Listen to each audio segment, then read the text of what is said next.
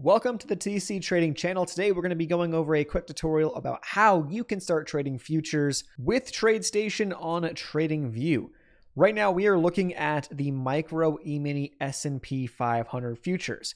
What we want to do is walk you through step by step how you need to go about this and then we'll show you guys some examples. We'll do some live trades and at the same time we want to cover a couple things that people don't talk about when it comes to these videos that you need to know in terms of fees and other things that you may or may not need to pay for on the back end, depending upon exactly what you're looking to do. All right, let's dive in. So, here we are logged into TradingView. If you were to go to, for example, the home page, you would look at a page that looks like this. Now, what you're going to want to do is you're going to want to have a TradingView account first. We'll leave a link to that in the video description, like we always do.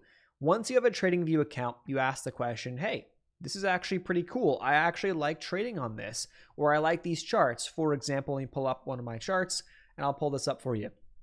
Okay, great.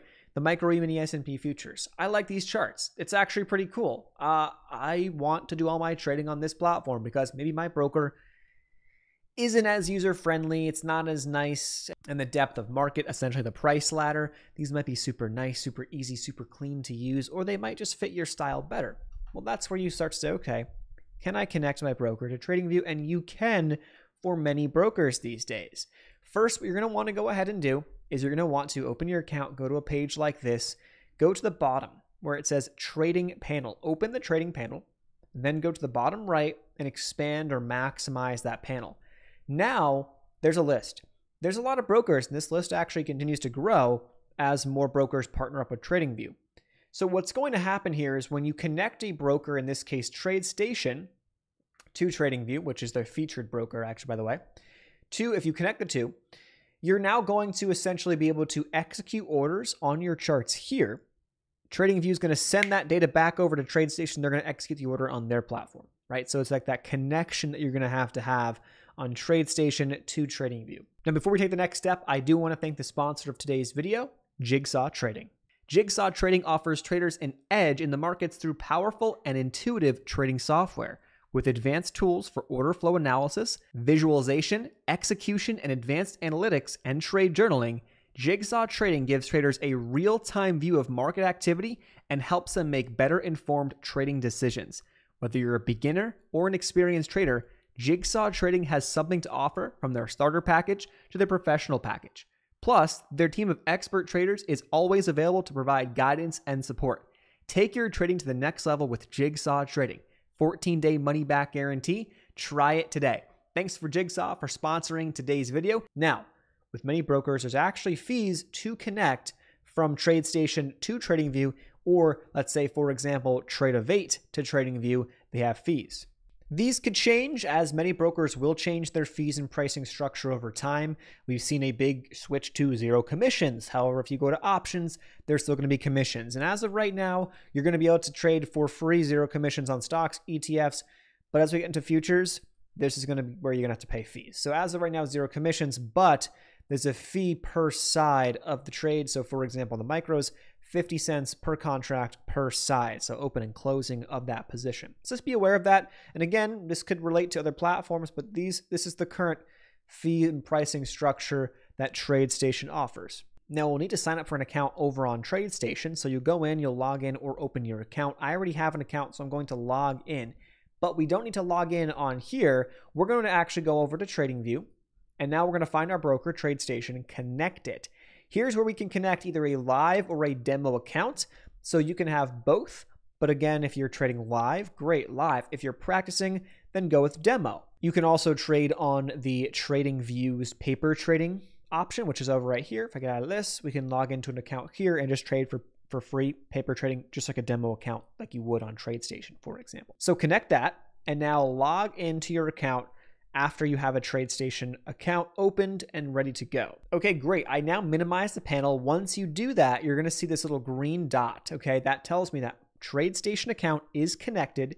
It's green. We are good to go. I can now trade on the platform TradingView, which we're looking at right now, through TradeStation. Okay, so when I go to execute trades, it's going to use the green icon, the green little dot, whatever broker you have, whether that's paper trading, in this case, TradeStation, or a different broker, it's going to now be pulling from that connection. Okay. So now we're looking at a five minute chart, and here is where I may want to add or create an order and go ahead. Bunch of ways to go about it. There's many options. I could control click on my screen, go to where it says trade. I can buy or sell, create a new order there. Or I can go over to where it says order panel or DOM on the right hand side. That's another spot that I can go over and open those trading widgets on the TradingView platform to trade via TradeStation. But before we do that, I do want to make sure you are aware of a couple things. You may or may not need to pay for real time market data. Now, we're right now looking at TradeStation. We can see that the fee pricing structure is free. Okay. However, that's not going to be the case on TradingView. Okay. We go back to TradingView. I'm going to go back to my account. Okay. We currently use the TradingView Pro Plus plan. We tried premium for what we need it for. Pro Plus is just fine. Maybe you want premium, maybe you want pro, maybe you want to pay or not pay and have a free account. You can you can do that. There's just some limiting factors and then you'll get some additional bonuses once you start paying the monthly fees or pay yearly. I highly recommend you pay yearly instead. Way cheaper. Okay.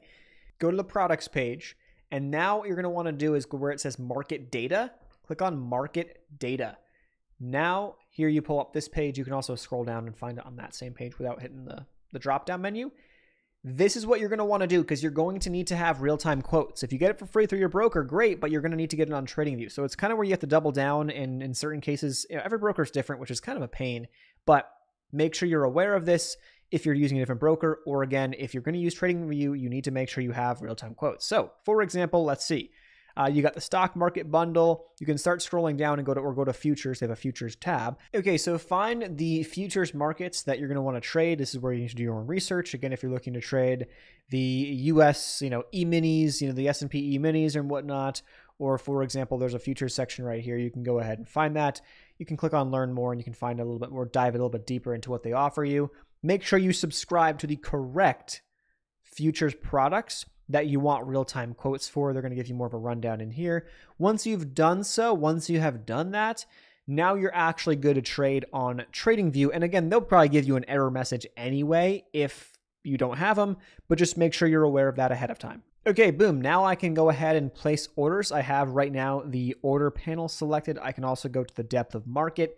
Let's say that I want to market buy. There's really just consolidation. Let's say I want to market buy. I think we're going to go higher. Okay, market buy. I can add and change the units as I see fit. Add take profits and stops. You have ticks, price, uh, dollar, or percentages that you can adjust on this to essentially have these take profits and stops be entered immediately as you enter this trade. Uh, it's a one cancels the other order. So let's say I take a take pro- or I have a take profit and stop loss that I enter the same exact time when I market buy in. For example, now as I adjust, let's say one of these were to hit, it gives me I can edit the settings on TradingView by the way too to change if it shows you the dollar amount, the numbers and stuff uh, of my orders. But when one hits, I will it will automatically cancel the other. So for example, let's say I take the take profit and I bring it right to where we're at. Give it a second, see if it'll fill. This once it hits will cancel out the stop loss, and so we're good to go. And again, that's kind of more so outside of this point of the video, but boom, it just filled and then they both got canceled off. So that's how it works. It's actually very straightforward. It's actually pretty easy. If you are a very short term scalper, this probably isn't the best, most efficient way to go about it because there is like a hair of a second delay because TradingView's got to take the order and then it's got to send it over to your broker and then it's going to actually fill you. So just make sure you're aware of that, which could offer potentially a lag when you are trading on the platform. So if you're looking at five minute charts or higher, probably not going to be a huge deal. Swing trading and whatnot, probably not a huge deal, but that's how you go about it other videos here on the channel if you want to learn more about the different aspects of TradingView and whatnot. But that's how you connect TradingView and TradeStation so you can trade futures all on TradingView's charts.